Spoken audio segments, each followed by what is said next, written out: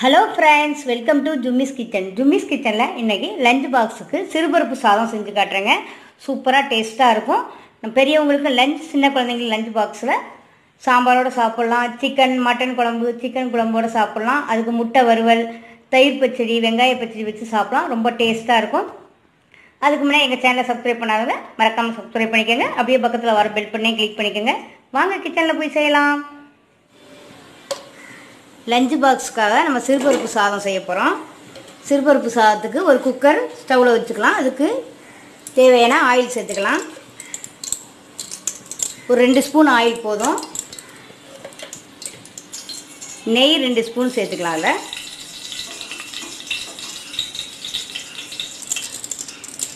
ரெண்டு பட்டை நாலு லவங்கம் ரெண்டு ஏலக்காய் பிரியாணி இலை ரெண்டு பீஸ்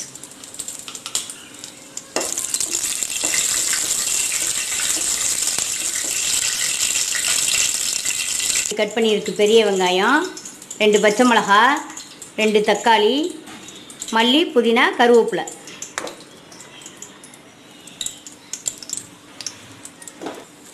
அரை ஸ்பூன் வெந்தயம். என்னடா சாதத்துக்கு வெந்தயம் சேர்க்குறாங்களே கசக்குமா அப்படின்லாம் நினைக்க வேணாம். வெந்தயமும் சிறுபருப்பு சா சேர்ந்தா ரொம்ப மனமாக சூப்பராக இருக்கும்.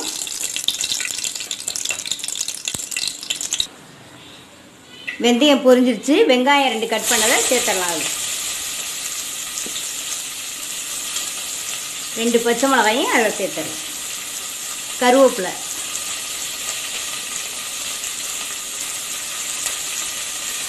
நல்லா வதக்கிடலாம்.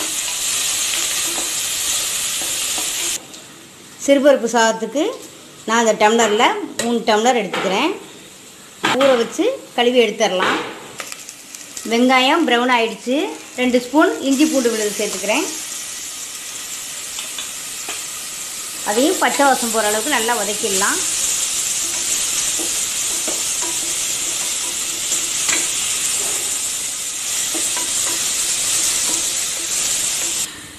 சிறுபருப்பு சாதத்துக்கு ஐம்பது கிராம் சிறுபருப்பு எடுத்து வச்சுருக்கேன். நல்லா வறுத்து ரோஸ்ட் ஆக்கி வச்சுருக்கேன். இது நல்லா கழுவிட்டு நம்ம அதாவது சாதத்தோடு சேர்த்துக்கலாம்.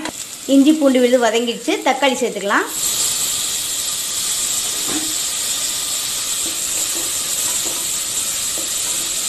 இதுக்கு தேவையான கல் உப்பு சேர்த்துக்கிறேன். தக்காளி வதங்கிடுச்சு. மல்லி புதினாவையும் இதில் சேர்த்துடலாம்.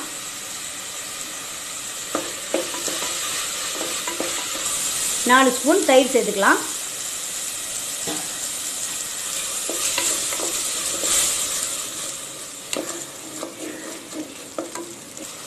இது கூட சிறுபருப்பையும் சேர்த்துடலாம் இப்போ.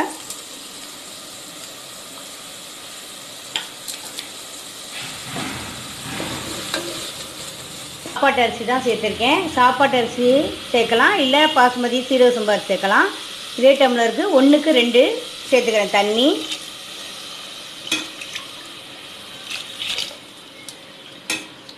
மூணு டம்ளருக்கு ஆறு டம்ளர் தண்ணி சேர்த்துக்கிறேன்.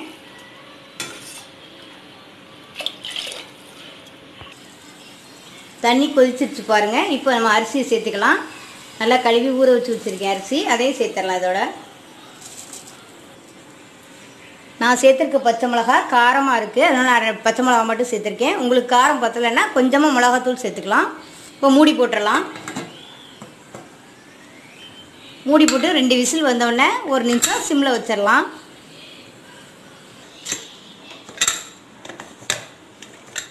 சூப்பராக சிறுபருப்பு சாதம் ரெடி ஆகிடுச்சு பாருங்கள்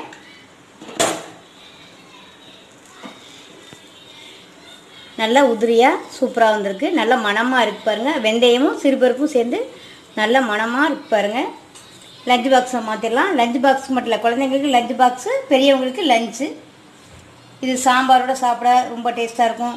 சிக்கன் குழம்பு மட்டன் குழம்பு எல்லாத்தோடவும் சேர்த்து சாப்பிட ரொம்ப டேஸ்ட்டாக இருக்கும். இப்போ லஞ்ச் பாக்ஸ் மாற்றிடலாம் லஞ்ச் பாக்ஸ் சாப்பாடு லஞ்ச் சிறுபருப்பு சாதம் ரெடி ஆகிடுச்சு பாருங்கள் அதுக்கு முட்டை வறுவல் வச்சுருக்கோம். சூப்பராக இருக்கும். எங்கள் வீட்டில் லஞ்சும் எங்கள் குழந்தைங்க லஞ்ச் பாக்ஸும் இதான் சாப்பாடு இன்றைக்கி சாம்பார் தயிர் பச்சடியோடு சேர்த்து சாப்பிட்டா ரொம்ப டேஸ்ட்டாக இருக்கும். பிடிச்சிருந்தால் லைக் பண்ணுங்கள் மறக்காமல் கமெண்ட் பண்ணுங்கள் மறக்காமல் உங்கள் ஃப்ரெண்ட்ஸ்களுக்கும் ஷேர் பண்ணுங்கள் தேங்க்யூ